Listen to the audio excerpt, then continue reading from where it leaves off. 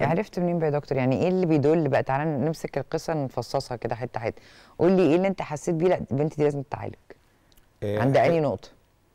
عند النقاط إن هي تعمل اتنين. أول كلمة 22 يعني واحدة عاملة المدرس 22 بتاعها المدرس بتاعها ما عندهاش بتعملي. إيه؟ آه ما عندهاش مشكلة إن هي تجرح أي حد. دي الحتة اللي ف... اللي أنا فكرت فيها. إزاي ليه شايلة السواد ده؟ هي خدت إيه؟ آه. يعني هي هم ادوا لها إيه؟ فهي ردته لهم إيه؟ أكيد ادوا لها حاجات زي كده عدم اهتمام. وخلي آه. بالنا ان إن مش الأم لما تبعت وتقول أنا دلوقتي بنتي عندها كذا وكذا فإحنا طبعا مشفقين على إن الأم بتقول هذا الكلام وهي متأثرة. ولكن هي متأثرة بعد إيه؟ إحنا ما نضمنش وهي صغيرة. عدم اهتمام كان تفضيل حد أكتر منها. آه مم. اتحرمت من حاجات قد تكون برضو الأم والأب مش يعني ما لهمش دور فيها إنما اتحرمت من حاجات كان نفسها إن هي تحققها. آه، في حاجات كمان من ضمن الأمور اللي هي مثلا بتتفرج على حاجة أو دي, دي بنتكلم بها الأهل حتة الرقابة وأنا بتفرج على بعض الأفلام ولا بعض المسلسلات أحب أتقمص شخصية حاجة معينة. حبت في حبت يمكن ال- ال- الجانب الشرير. وعلى فكرة أنا يعني أنا بيجي لي حاجات أولاد أحيانا يمكن ولد صغير بيكلمني بيقول لي أنا عايز أبقى شرير.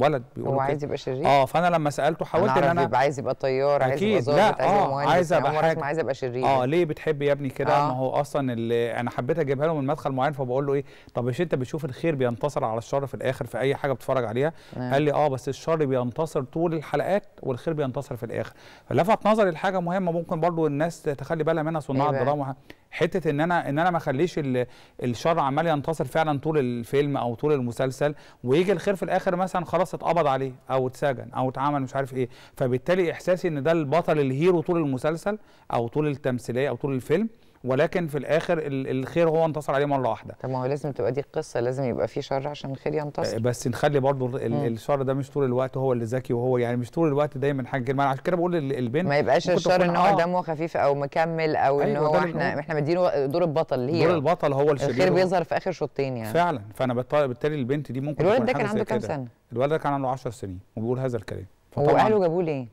علشان بافكاره كده طول الوقت. مش دي مش دي الفكرة الوحيدة. عنده افكار كتيرة طول الوقت بيتكلم في حاجات زي إيه كده. بقى؟ يعني قول لي آه، عايزه أشوف كده يعني مثلا إمتى نودي يعني عيالنا عني- لدكاتره نفسيين؟ يعني اولا عنيف جدا. بيستخدم عنف. وهو ما بيتقولي بيقولوا إحنا ما مارسناش عليه دور عنف.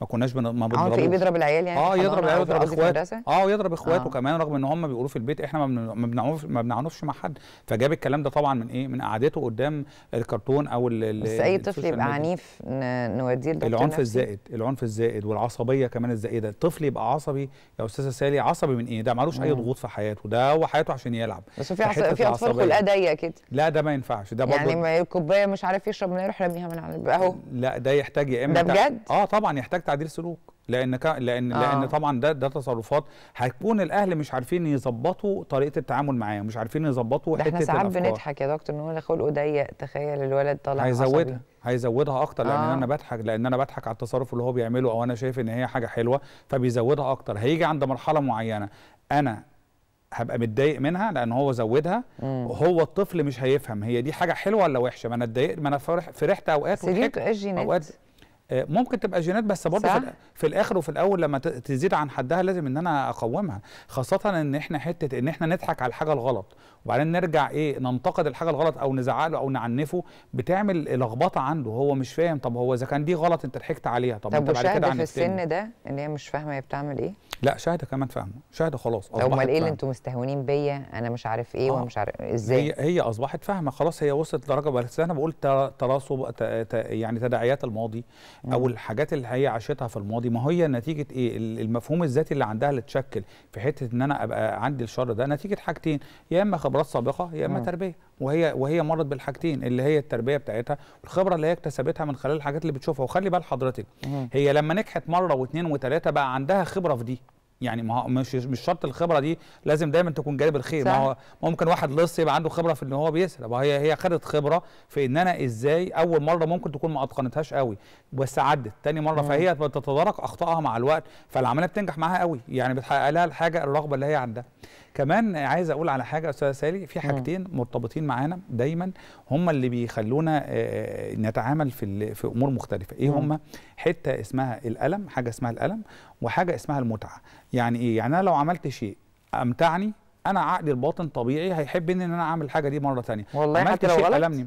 حتى لو غلط. ما إحنا إحنا معمول إحنا ال- الحاجة دي موجودة جوانا عشان نعمل الصح بس إحنا بنستخدمها في الغلط لأن هو ممكن يمتعنا. آه. فبالتالي ده أشعرني بلذة أو بمتعة هعملها تاني. آه الحاجة اللي بتؤلمني أو الحاجة اللي أنا لقيت منها تعنيف لقيت منها مشكلة حصلت لي هلاقي نفسي تلقائيا ببتعد عنها.